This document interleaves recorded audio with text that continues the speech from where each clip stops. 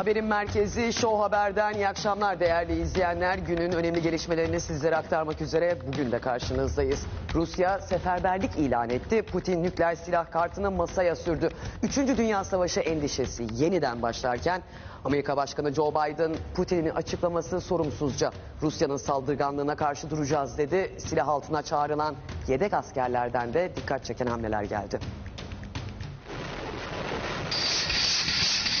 Blöf yapmıyorum dedi, nükleer tehditte bulundu. Bütün silahlarımı kullanırım diyen Rusya lideri Putin seferberlik ilan etti. Üçüncü Dünya Savaşı için tehlike çanları yeniden çalmaya başladı.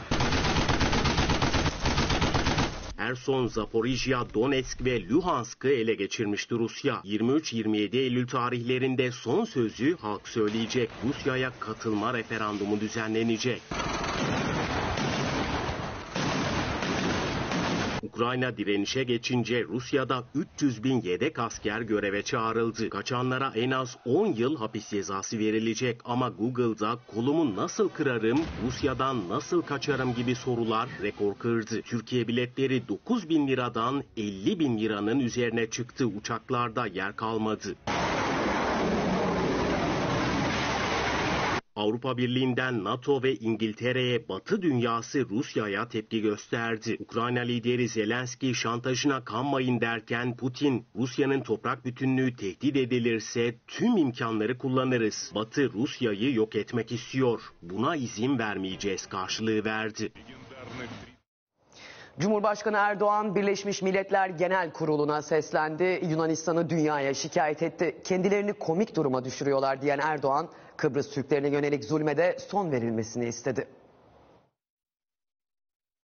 Bölgede ülkemizde asla denk olmayan siyasi ve askeri seviyesine rağmen güç gösterisi peşinde koşanlar kendilerini komik duruma düşürmektedir. Dünya liderlerine seslendi, Yunanistan'a tepki gösterdi. Gerginlik siyasetini bir kenara bırakıp işbirliği çağrımıza kulak verin dedi. Türkiye, Ege ve Doğu Akdeniz'deki haklarını sonuna kadar savunurken kendi siyasi hesapları uğruna gerginlik stratejisi izleyenlerin oyunlarına da asla gelmeyecektir. Sözü Kıbrıs meselesine de getirdi. Gerçekleri görmek isteyen herkes adada iki ayrı halk, iki ayrı devlet olduğunu bilmektedir diye seslendi. Uluslararası toplumu Kıbrıs Türklerine yönelik zulme son vermeye, bir an önce Kuzey Kıbrıs Türk Cumhuriyeti'ni resmen tanımaya davet ediyoruz. Birleşmiş Milletler Genel Kurulu'nda kürsüdeydi Cumhurbaşkanı çok renkli ikili görüşmelerde de bulundu. Hediyesiyle gelen FIFA Başkanı Erdoğan'ı Dünya Kupası'na davet etti.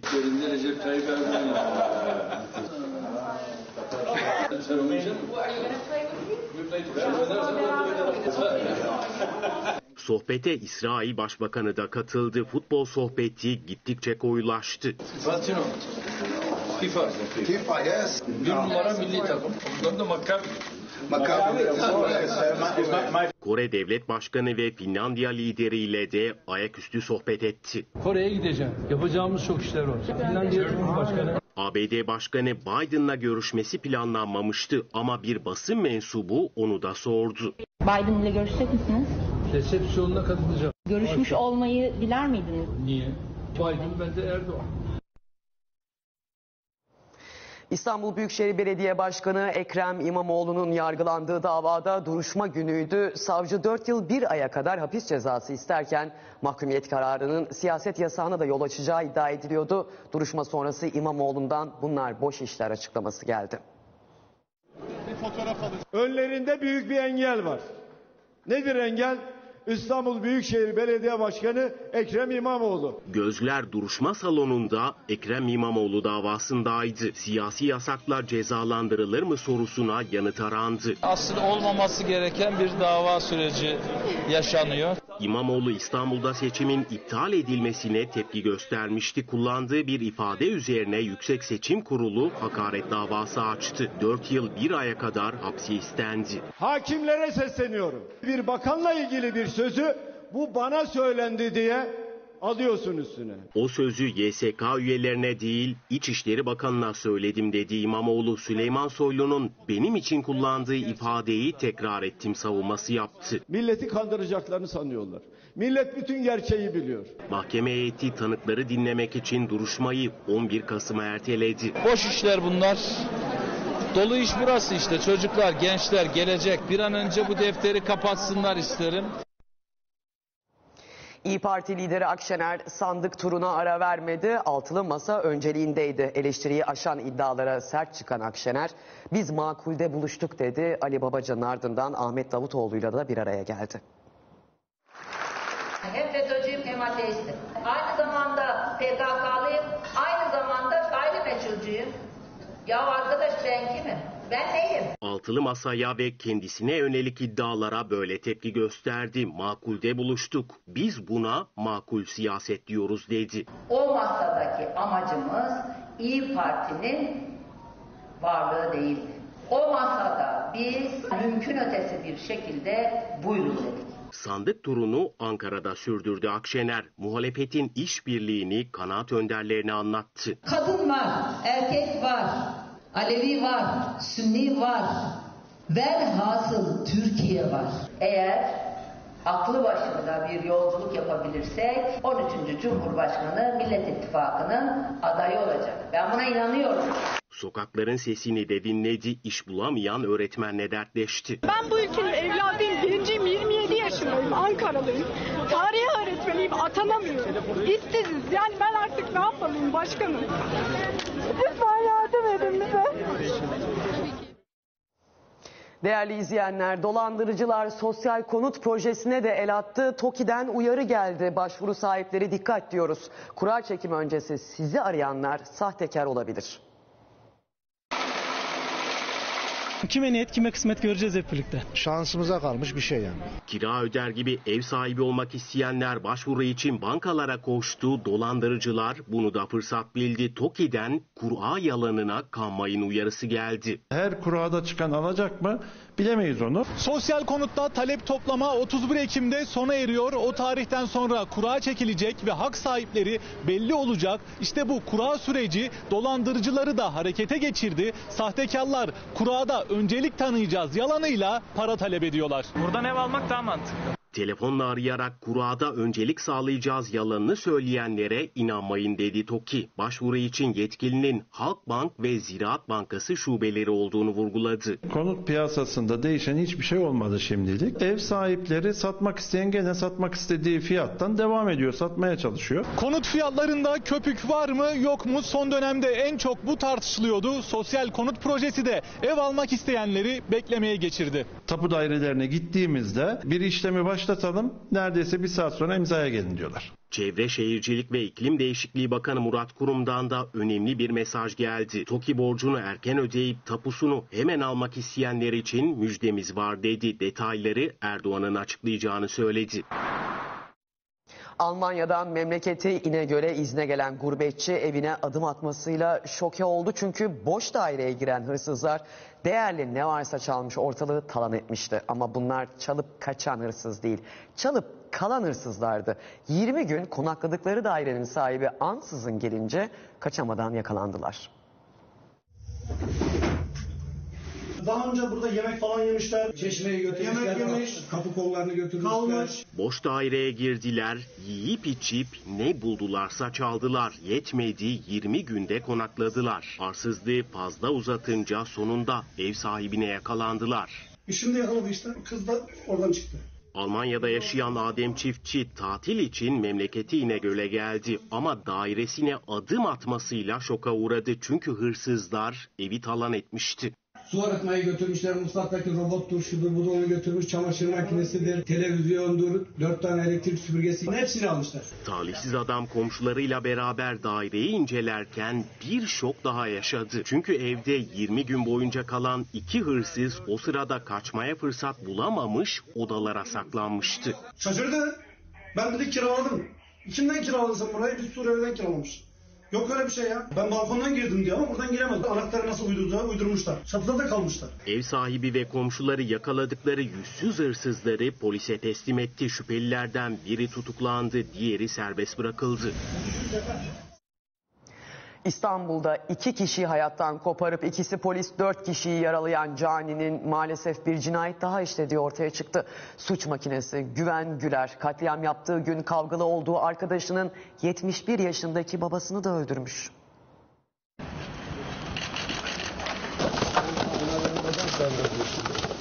İki akrabasını katledip ikisi polis dört kişiyi yaralayan Cani seri katil çıktı.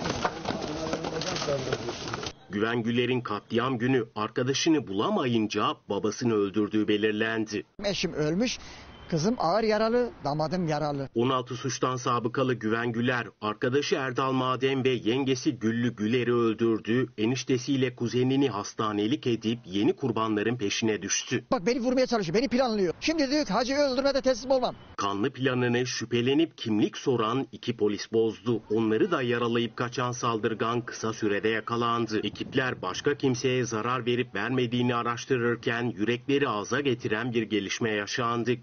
Küçükçekmece'de bir erkeğin cansız bedeni bulundu.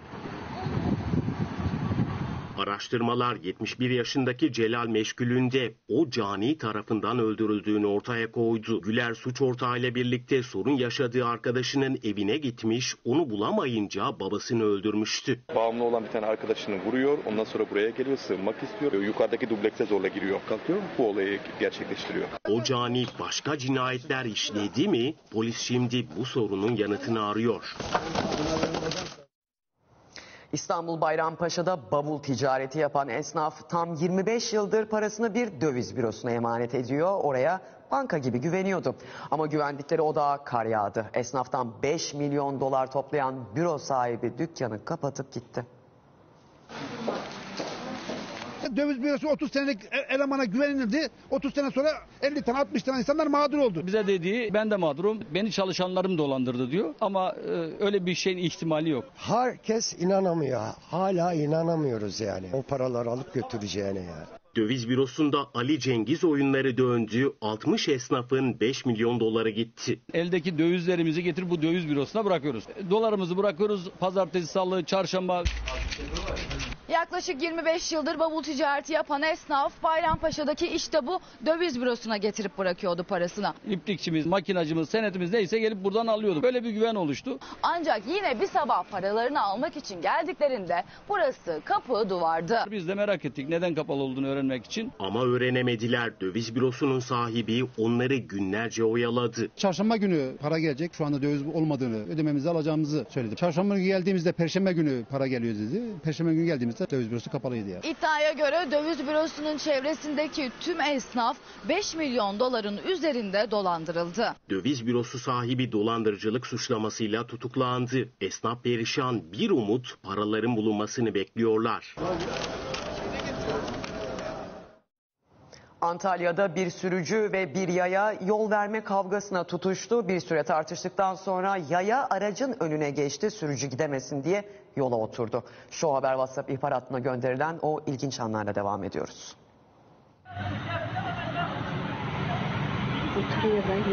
Önce tartıştı sonra gidemesin diye otomobilin önüne geçip yolun ortasına oturdu. Görüntü Show Haber WhatsApp ihbar hattına Antalya'dan gönderildi. Dün akşam saatleriydi Manavgat'ta seyir halindeki sürücüyle bu adam yol verme yüzünden tartıştı. Çarptı. Abo. iniyor. Aha iniyor. İniyor. Eyvah bunlar ayran da olmaz.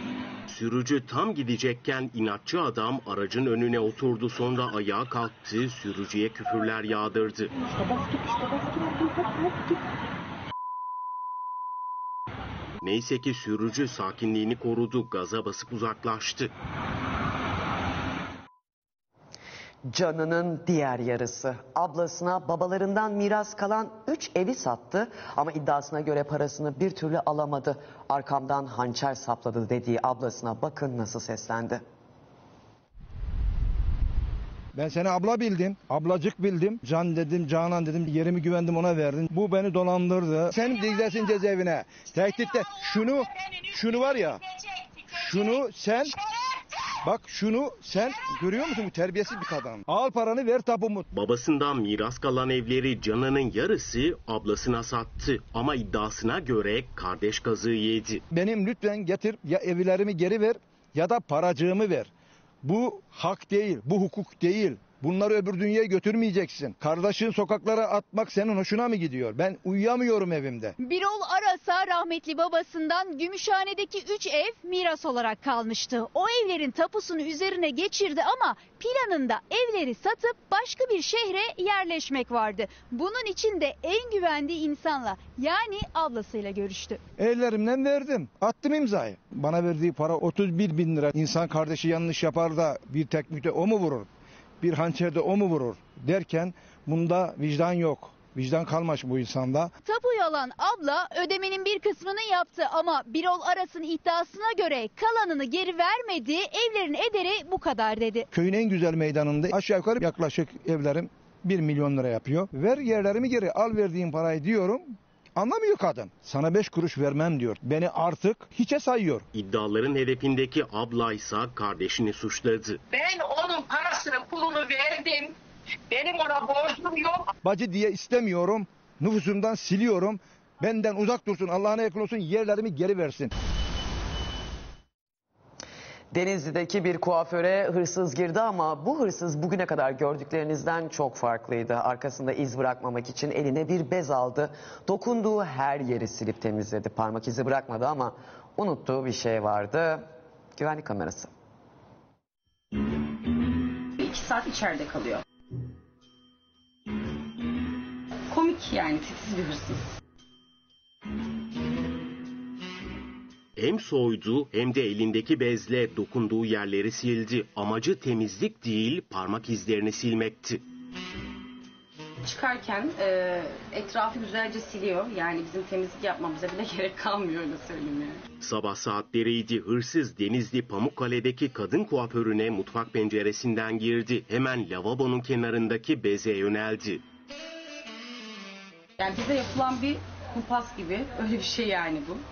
İlk iş dokunduğu pencereyi sildi, pırıl pırıl yaptı. Sonra bir elinde poşet, bir elinde bez soyguna başladı. Makyaj malzemeleri, işte saç spreyleri, saç yani deodorant falan böyle satacağımız her şeyi çalmış. Milletin saçını almış geri bırakmış. Titiz hırsız iki saat sonra dükkanın kapısından çıkıp gitti. Çalışanlar gördükleri manzara karşısında şoka girdi. Şimdi sağ kolu şuraya kadar kesik. Buradaki, buradakini de ko- gözlerini kesip kafasına maske yapmış. Polis iş yerinde güvenlik kamerası görüntüleri dışında delil bulamadı. İz bile bırakmamış yani. İstanbul'da bir çete yaşlı adamı hırsızlıkla suçlayıp kandırdı, tuzağa düşürüp ameliyat parasını gasp etti. Zavallı adam kara kara nasıl ameliyat olacağını düşünürken yardımına yakınları koştu. Neyse ki çetede çok geçmeden yakalandı.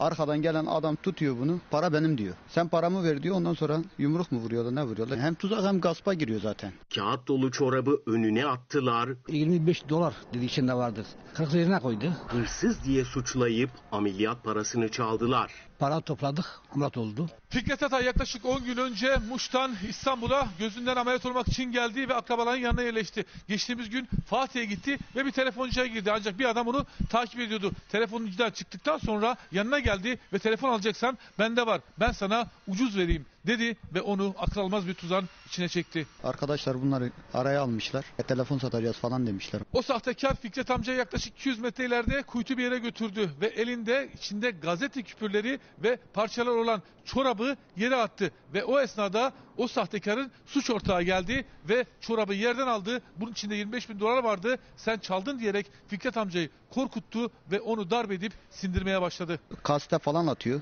Arkadan gelen adam sen benim paramı çaldın diyor. Yumruk vuruyor. Ondan sonra alıp cebindeki parayı hepsini götürüyorlar. Sahtekar adam Fikret Atay'ı yönlendirdi. Yolun karşısına götürüp suç ortağına haber verdi. Zorla aldı. Para cebinde. Bu civarında. Evet. 4 milyar 950.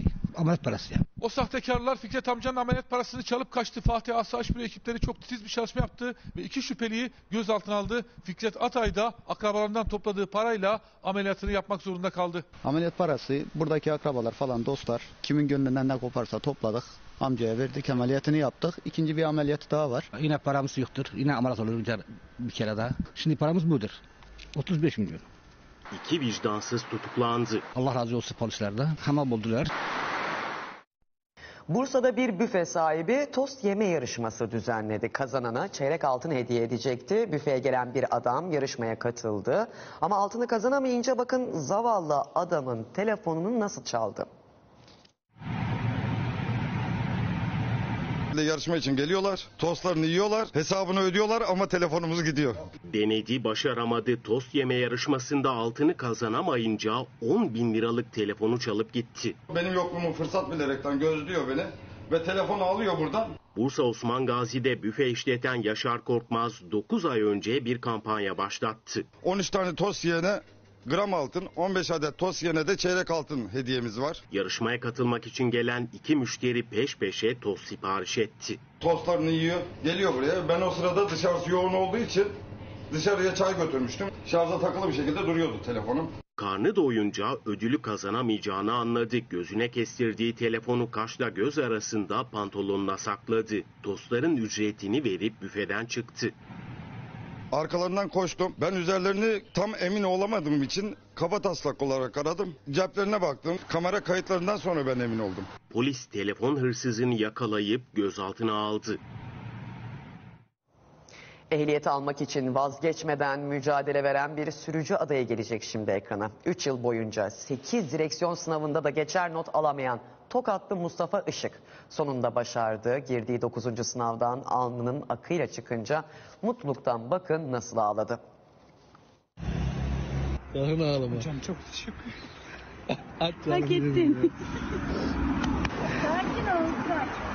Bir değil iki değil tam 8 kez sınava girdi başaramadı ama 9. sınavda hayaline kavuştu. Gözyaşlarını tutamadı. Bir anda tek seferde geçmem duygusal olarak tabii ki ağlamama neden oldu. İnanamadım çünkü. Tokat'ta yaşayan Mustafa Işık 3 yıl önce karar verdi ehliyet almaya ama direksiyon sınavını bir türlü veremedi. İlk serüvenim e, 2019 yılında başladı. Normalde trafikte giderken herhangi bir sıkıntı yok ama o e, sınavın heyecanı, psikolojisi. Yıllar sınavlar birbirini kovaladı. Mustafa ilk ben duyunca dedim ki aman Allah'ım 8 kez e, sınava girmiş bir insan ben ne verebilirim diye düşündüm. Tek eksiği güvendi. Ve sonunda 9.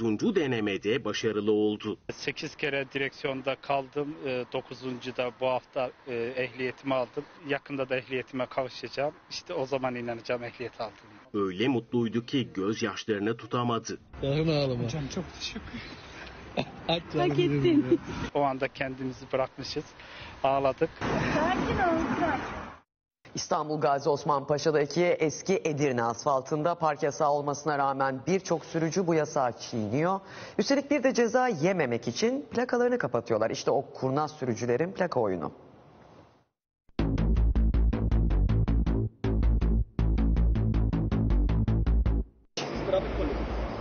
Biz haber muhabiriyiz. Bakın asfaltın üstünde dahi kocaman harflerle EDS yazıyor. Şu aracın plakasını okuyabiliyor musun? 19 o kadar. Onun ötesi yok. Kimi minik bir karton parçasıyla, kimi kağıtla, kimi de zarfla hatta sandalyeyle. Hem park yasağını çiğniyorlar hem de mobil EDS ceza kesmesin diye türlü türlü taktikler uyguluyorlar. Adamlar bezle kapatıyorlar. Şey, ka- kağıtla kapatıyorlar kızım. Bakın o kurnaz sürücüler hem kuralları nasıl ihlal ediyor hem de nasıl trafiğe neden oluyor. 10 dakikalık yolu biz yarım saate bitiriyoruz. Siz de kapatıyor musunuz? Tabii canım kapatıyoruz. Kapatmayan yok ki cadde üzerinde. Bakın işte yasak olmasına rağmen yol kenarına park etmiş birçok araç var. İşte bununla başlayalım. Bakın bir zarf yardımıyla kapatılan plaka bu. Plakasını niye kapattınız? Ceza yememek için? Evet. Doğru bir şey mi? Yer yok başka. Otopark Burada yakın değil ki. İşte EDS'ye yakalanmamak için kapatılan bir plaka daha. Bakın bu kez de bir karton parçası kullanılmış. Biz haber muhabiriyiz. Tamam lütfen rahatsız etme. Doğru mu bu yaptığınız? Doğru ya da değil. Sürücü tepkili ama bakın plakası hala kapalı. Siz şu plakayı okuyabiliyor musunuz? Hayır. 34 yazıyor hemen kapatmışlar. Cadde boyunca gezmeye devam ediyoruz. Karşımıza farklı farklı taktikler çıkıyor. Bakın burada da sandalyeyle kapatılmış plaka.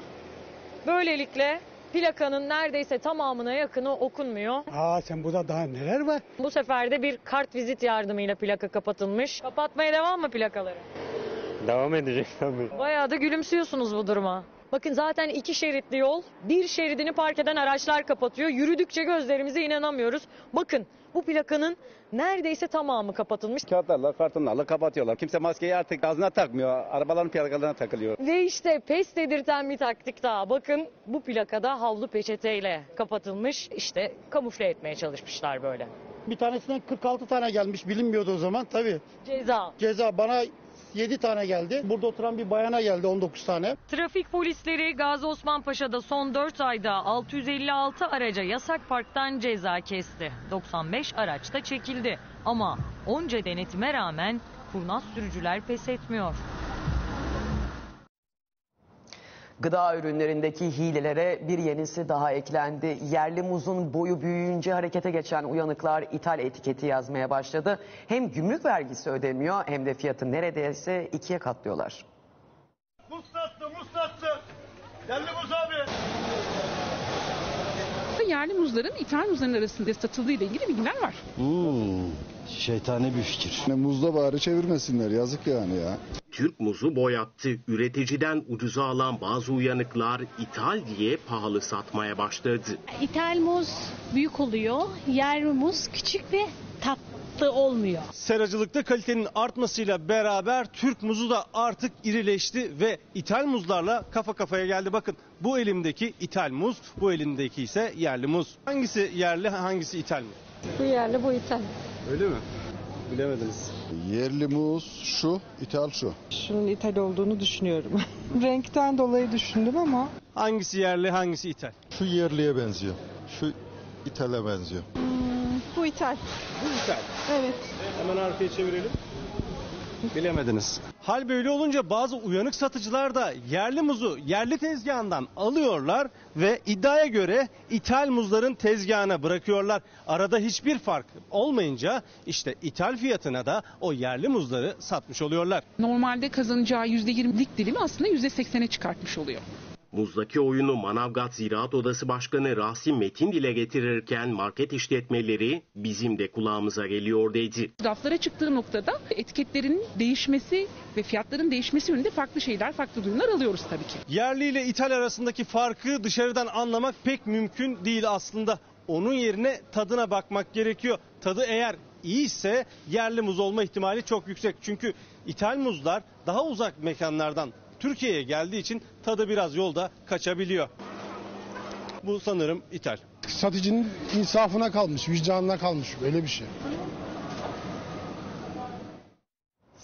Doğa tutkunlarının dört gözle beklediği kamp ve karavan fuarı Pendik'te kapılarını açtı. Her keseye uygun çeşit çeşit karavanlar görücüye çıktı.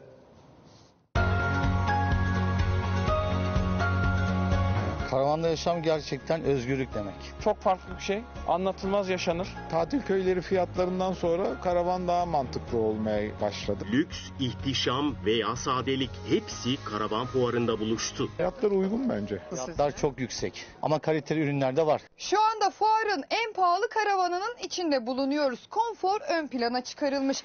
Bir evde ihtiyaç duyulan her şey bu karavanda bulunuyor. Fiyatı ise tam 4 milyon lira. Çamaşır makinesi, bulaşık makinesi, buzdolabı, kliması. Akıllı evlere alışığız. İşte o evlerde kullanılan teknoloji karavanlara uyarlandı. Ortaya da akıllı karavanlar çıktı. Akıllı karavan nedir? Tamamen her şeyin tabletle kontrol edilebiliyor olması.